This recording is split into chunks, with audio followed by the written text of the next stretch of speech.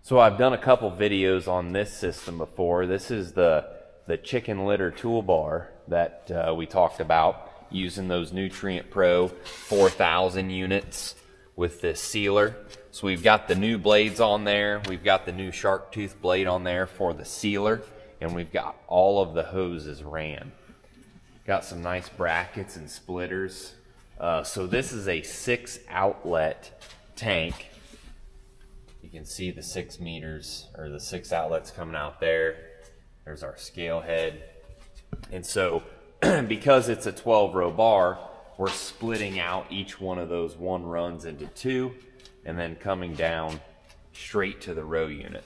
You can see that knife right there, uh, how it's, it's pushed up against the side of that blade and it's gonna drop that chicken litter right down there in a nice band and then this walking tandem sealer.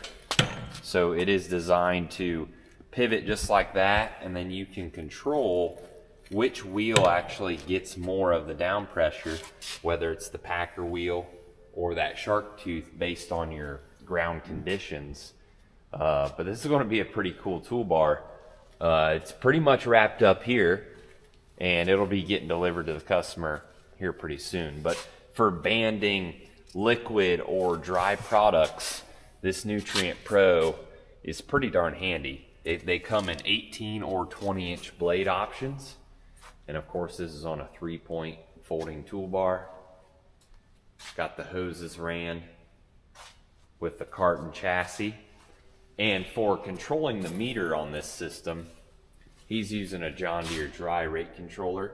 We can uh, use several different options to control this box. We've got our hydraulic fan here, blows the air up in the backside of that meter and propels all that product up forward through those hoses. So that's what we're doing today, talking about the Chicken Bander 5000 uh, banding pelletized chicken litter. Pretty cool setup. I can't wait to see it in the field. Thanks for tuning in.